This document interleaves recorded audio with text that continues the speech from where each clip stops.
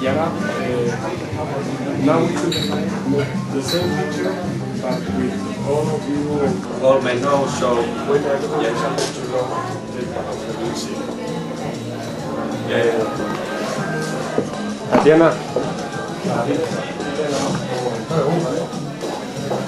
pieces of uh, uh, banking transformation, it's called banking transformation model.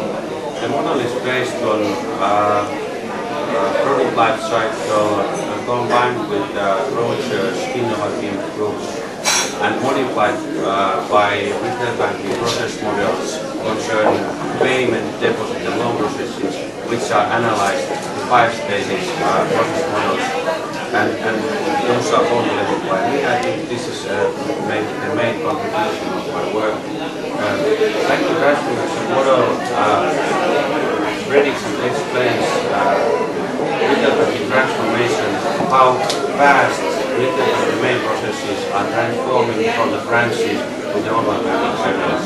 And it's quite accurate and, and uh, uh, it's, uh, to my knowledge, uh, first in the world that this, this combination is made to uh, explain and evaluate transformation that level of development in, in finance. in, in finance. Yes. Yes. Uh, all those uh, retail banking processes which are done at the branches at the moment, payment process, which is uh, mostly developed, and for example in Finland only 5% of bills are transferred and paid at the branches, 60% goes online channels. The same will happen to deposit making, and same will last happen to finance and loan process also. For example, student loans in Finland, 80% of those already applications are made online channels and uh, because uh, loan amounts 20% of uh, house loan applications are done through online channels already in Finland. US leads this uh, already 2001 1.5 million uh, uh, applications of loans were made online in US. Question, what would be the key issues of the model of transformation that you are proposing? Yeah. Key issue is, is, is how, how we people behave.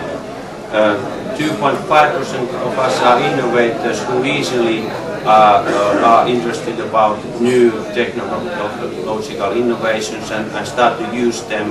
And, and Rogers has uh, uh, identified those five groups of, of uh, person behaving and Oh, congratulations. You have your diploma. Okay, just one, I want to say one a few words as well. Uh, first, I want to congratulate Mr. Besa uh, for the excellent work. It's not always usual that the thesis always uh, provides something new.